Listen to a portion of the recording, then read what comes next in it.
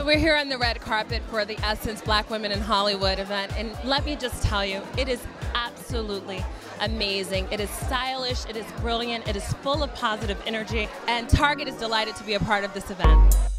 Well, it feels like a full circle moment because Essence was the first magazine that ever put me on the cover. Uh, in 1986, when I'd only been, uh, I think I hadn't even started as a national show, but they knew that I was. So it feels like coming home because they've always been so gracious and honoring of me and other black women. And, uh, you know, I'm, I'm just, I'm proud to be a recipient. What most people want in the world that I learned in my thousands of interviews that there's a thread that connects every one of them. And everybody really wants to know do you see me? Do you hear me? And does what I say mean anything to you?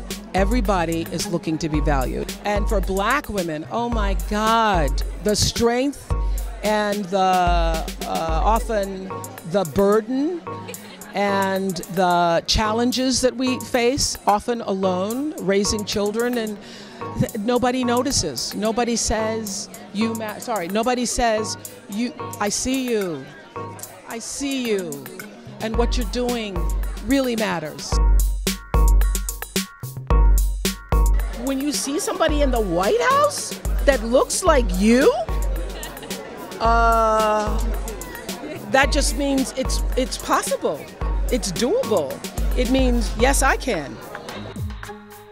I'm here with Target, they are a huge believer in education and the commitment to education like you. Why is it important for corporations to support philanthropy? I think the whole purpose of humanity, of our being here, is for each one to reach one and each one to teach one and each one to lift one up. And if you can lift more than one, if you can lift, in this case, nine or 10 or 200 or whatever, you should do what you can. That's, a part, that's what the human condition is about, is about lifting each other up.